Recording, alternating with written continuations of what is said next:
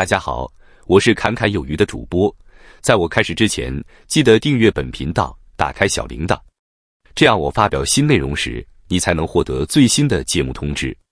台积电作为全球半导体代工龙头，薪资和福利都相当优渥，让外界羡慕。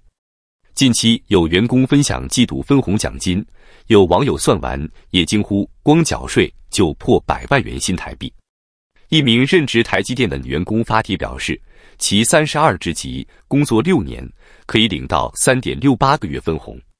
还有员工表示，三十一职级工作一点一年可领到三点一四个月分红，三十二职级工作三年可领到三点五六个月的分红，三十二职级工作五年领到三点八八个月分红，还有员工领到三点九个月分红。有一位台湾清华大学毕业的台积电员工指出，三十四职级年薪达到六百五十万元新台币。不过，熟知台积电的人士指出，台积电通常普通员工才会一直发放季度分红，台积电的员工薪酬待遇、季度分红是每季度跟着获利有高有低，每季度发放，最大分红奖励通常是在隔年七月，而且台积员工薪酬包含多个专案。不会只看例行的季度分红。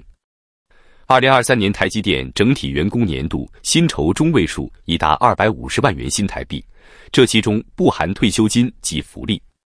台积电回应表示，公司一直以来皆秉持同仁是公司最重要的资产的理念，照顾员工，致力于给予员工一个在同业平均水准以上的薪酬与福利，在兼顾外部竞争、内部公平及合法性的前提下。提供多元并具竞争力的薪酬制度，并秉持与员工利润共享的理念，吸引、留任、发展、激励员工。公告说明，台积电员工的薪酬包含按月发放的薪资、按季度结算经营绩效发放的业绩奖金，以及公司根据年度获利状况所发放的酬劳分红。每季度业绩奖金及年度酬劳分红是为回馈同仁，奖励其贡献。并激励同仁继续努力，让员工利益链接股东利益，以创造公司、股东与员工的三赢。台积电公司系依据公司营运成果，并参考业界发放水平，决定业绩奖金及酬劳分红的总数，其金额与分配方式由薪酬及人才发展委员会向董事会提议。其中，员工酬劳与董事会核准后发放。每位员工获派的金额依职务、贡献、绩效表现而定。与此同时，美国拜登政府公布了对中国获取晶片和人工智慧 AI 关键部件的新限制，业界关注对台积电的影响。台积电十二月上旬回应指出，台积公司作为一家守法的公司，一向致力于遵循所有可适用的法令与法规，包括可适用的出口管制法规。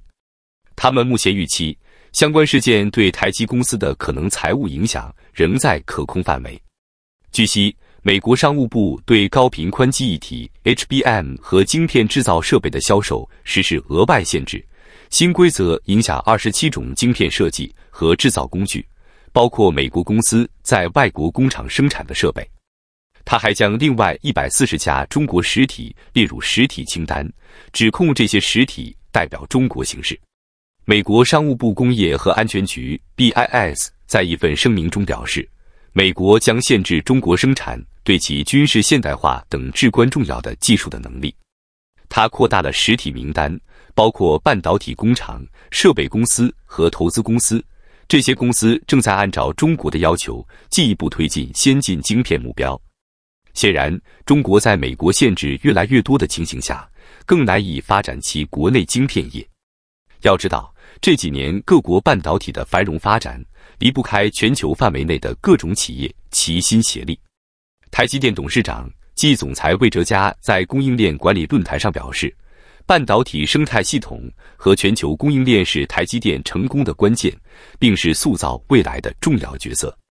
台积电资深副总经理暨副共同营运长侯永清于活动中颁发优良供应商奖项。肯定在创新、技术合作、支持全球量产、绿色制造、系统自动化与建厂管理等方面表现优良的供应商，感谢其专业服务。带动供应链与相关产业不断升级。侯永清表示，随着全球对半导体的需求不断增加，台积电要仰赖上下一心的供应链，共同迎向未来的挑战，并掌握良机。台积电指出，包括应用材料、旭化成株式会社、ASM 台湾先益科技、ASML 达新工程、迪斯科高科技、信明工业、JX 金属株式会社、科磊、范林集团、李长荣集团、村田机械株式会社和纳美士株式会社等获奖。此外，纽富来科技、奥路加脑科技、新云、台湾迪恩式半导体科技。芝普先进科技、信越化学工业株式会社、Samco、特诺本科技、TEL、重越石英、东钢钢结构和汉唐科技等企业也获得台积电优良供应商奖项。在这些业内顶级供应链企业的通力合作下，台积电将于二零二五年下半年开始使用其 N 二制程节点二纳米级制造工艺，大规模生产半导体。目前，该公司正在尽最大努力完善该技术，降低可变性和缺陷密度，从而提高良率。台积电的 N 二将是该公司首个使用全闸 GAA 纳米片电晶体的制造工艺，该工艺有望大幅降低功耗、提高效能和电晶体密度。特别是台积电的 GAA 纳米片电晶体，不仅比三纳米 FinFET 电晶体小。而且通过提供改进的静电控制和减少泄漏，在不影响效能的情况下，实现更小的高密度 SRAM 为单元。它们的设计增强了阈值电压调节，确保可靠的操作，并允许进一步小型化逻辑电晶体和 SRAM 单元。然而，台积电必须学习如何以可观的良率生产全新的电晶体。据预测，使用 N2 制造的晶片。在相同电晶体数量和频率下，比在 N 三 E 节点上制造的晶片功耗降低百分之二十五至百分之三十；在相同电晶体数量和功率下，效能提升百分之十至百分之十五；在保持与 N 三 E 上制造的半导体相同速度和功率的情况下，电晶体密度提高百分之十五。台积电预计将在二零二五年下半年某个时候开始在其 N 二工艺上量产晶片。业界认为，很可能在二零二五年底。为此，台积电将有充足的时间来提高产量并降低缺陷密度。在此背景之下，台积电的一名员工最近爆料表示，该团队已成功将测试晶片的良率提高百分之六，为公司客户节省数十亿美元。这位自称 Dr. Kim 的台积电员工并未透露该代工厂是否提高 SRAM 测试晶片。或逻辑测试晶片的良率。考虑到台积电将于明年一月开始提供二纳米技术的多专案晶圆服务，因此台积电不太可能提高最终将以二纳米制造的实际晶片原型的良率。